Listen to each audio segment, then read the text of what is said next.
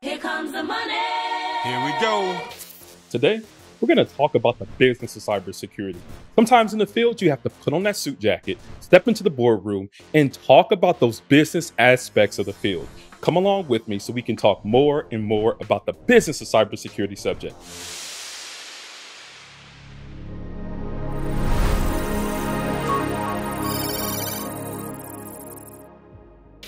Hello, and welcome back to Struggle Security, where we are normalizing struggling in cybersecurity. Thank you for coming back. We're going to jump right into it, where we're talking today about the business of cybersecurity.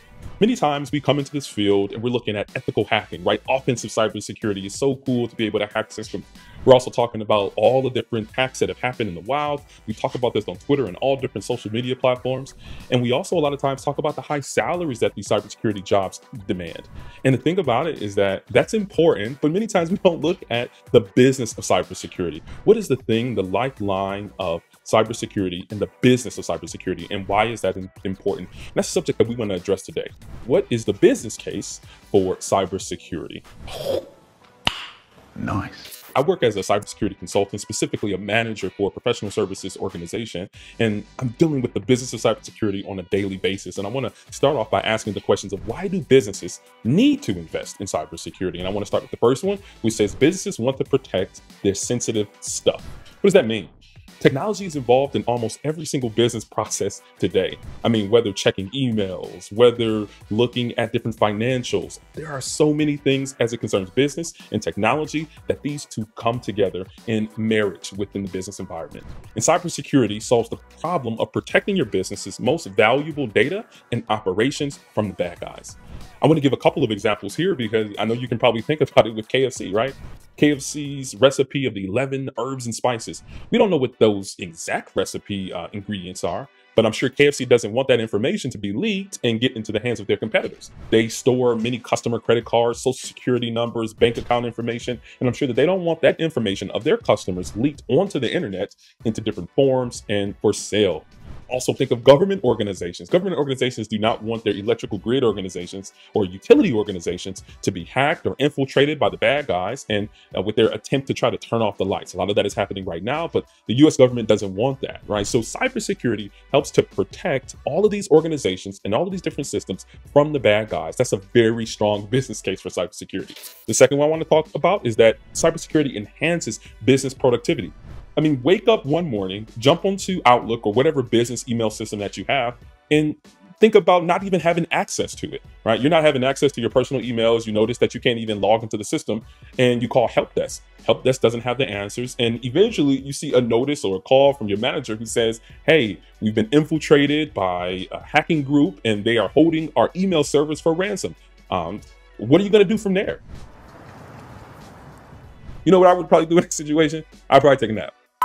I'll probably take a nap until the issue is resolved. But the moral of the story here is that business cannot continue if cybersecurity is not incorporated into the operations and the day-to-day operations of that business because it can slow down or even stop in many cases the business operations.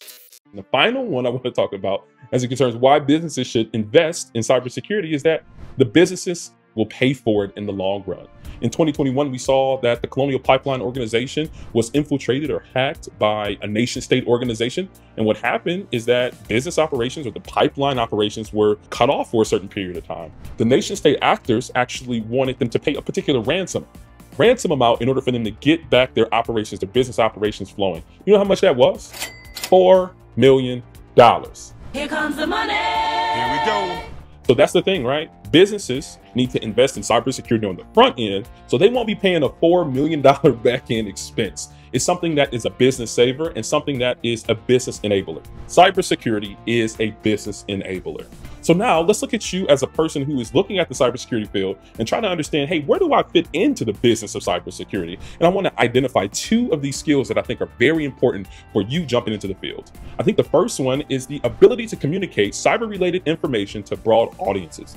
as a consultant, that's something that I do from a day to day basis. My specific flavor of cybersecurity is that of industrial control systems or operational technology cybersecurity, pretty much industrial cybersecurity as a whole. So I'm talking to process and controls engineers, but at times I'm also talking to managers and IT enterprise professionals. And there's even other times where I'm talking to executives, really trying to sell them on cybersecurity services or even just communicating to them what are the bad or what are the vulnerabilities that I see in within their systems. It's very important to be able to communicate cyber related information to broad audiences. And I think that that's one skill that will definitely make you very marketable in the cybersecurity field.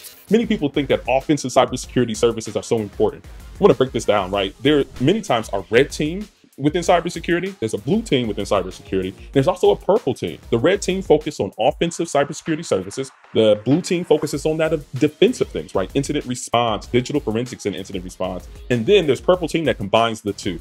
I would like to say for skill two that you should focus on your blue team defender skills more, right? Because many organizations are looking for that skill more than the red teaming and the cool and the sexy cybersecurity hacking stuff.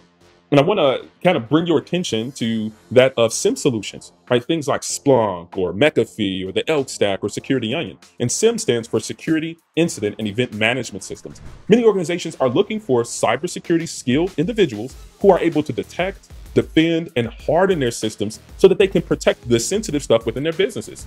There are free trainings out there. I know there's Security Onion 2. I'm going to bring that as a highlight. I'll put that in the description section. And they also offer a certification at a decent price. And overall, these tools will allow you to be able to detect if there is evil lurking within business environments. That's the second skill that I want to leave you all with. And we'll probably get into even more because there are some more skills, things like digital forensics and incident response, reverse engineering or malware reverse engineers, incident response consultants, and threat intelligence professionals. There's so much I can say on that. So look for more and more videos on this information. But hopefully this has been valuable to you and come back again for the Struggle Security channel where we are normalizing struggling in cybersecurity.